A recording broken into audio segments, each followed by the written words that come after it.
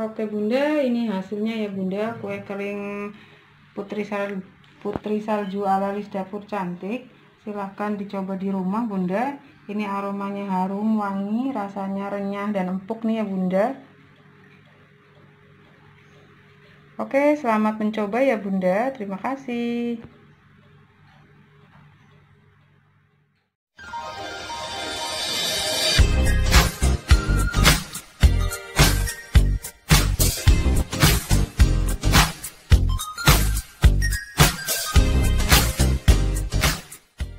Assalamualaikum. Oke bunda hari ini saya akan membuat kue kering putri salju ya bunda. Kue kering yang satu ini selain rasanya enak bisa juga untuk sajian kue lebaran ya bunda. Oke bunda untuk bahan-bahannya saya pakai tepung terigu nih ya bunda. Saya pakai protein rendah 250 gram. Satu bungkus susu bubuk 150 gram margarin. Ini akan saya tambahkan tepung maizena 4 sendok makan ya bunda 2 butir kuning telur. Ini ada vanili satu bungkus ya bunda ini saya pakai gula halusnya 2 sendok makan. Ini saya pakai keju 50 gram. Bunda boleh pakai boleh tidak Oke bunda, tonton terus sampai selesai dan jangan lupa like and subscribe-nya.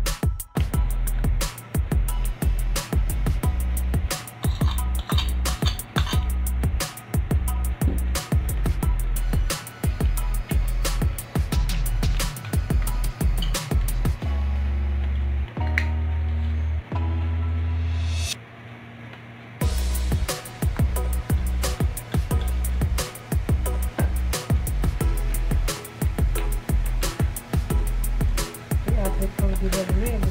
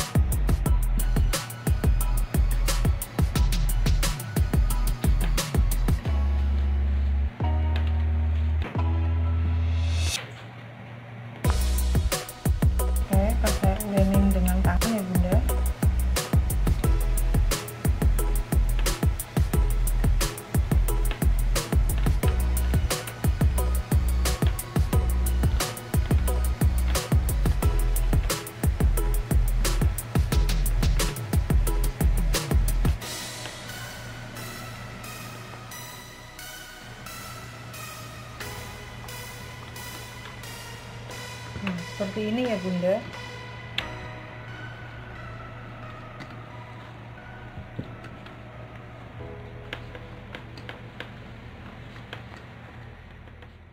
Saya diamkan 15 menit ya bunda.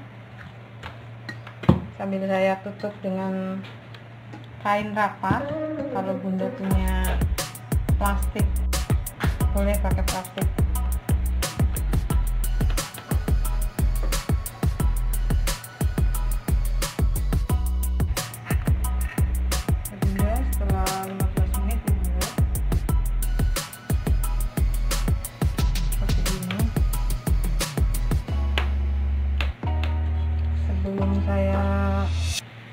bulat-bulatkan ini akan saya olesin dengan loyang nih ya bunda. Margarin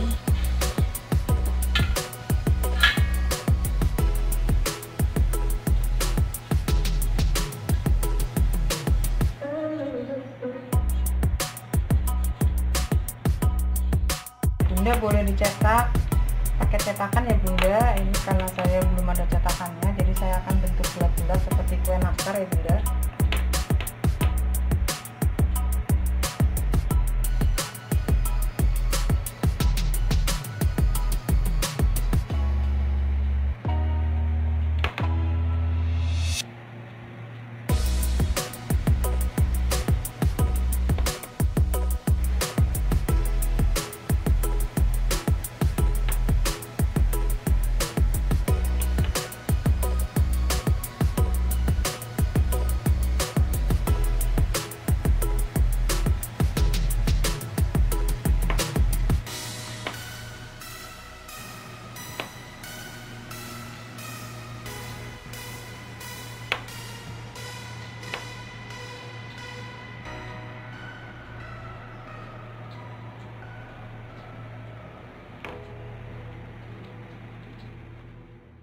ini ya bunda. Setelah saya bulat-bulatkan Siap untuk di open Ini saya open memakai panci ya bunda. Bunda boleh pakai yang open listrik Atau menggunakan teflon juga bisa ya bunda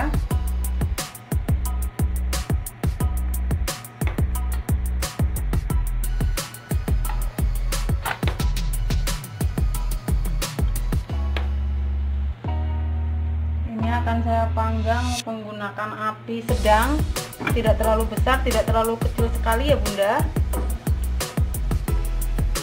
Kurang lebih 30 menit.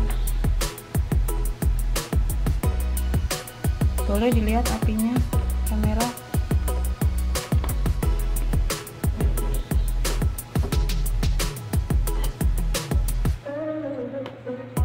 Tutup rapat ya bunda. Bunda 30 menit ya bunda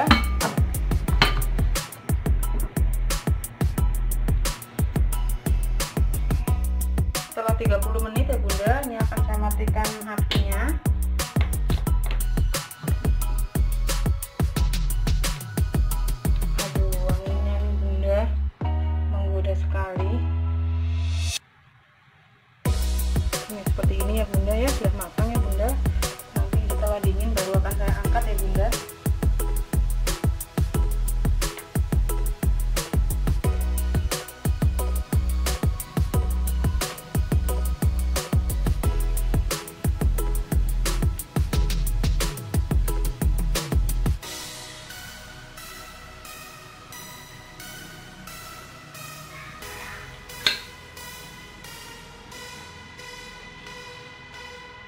dingin ya bunda?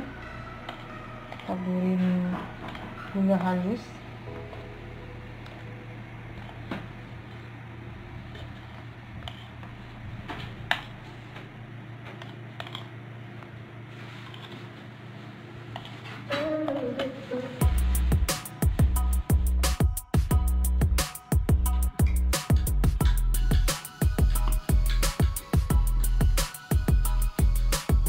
hasilnya ya bunda. Kue kering putri salju putri salju ala Lis dapur cantik.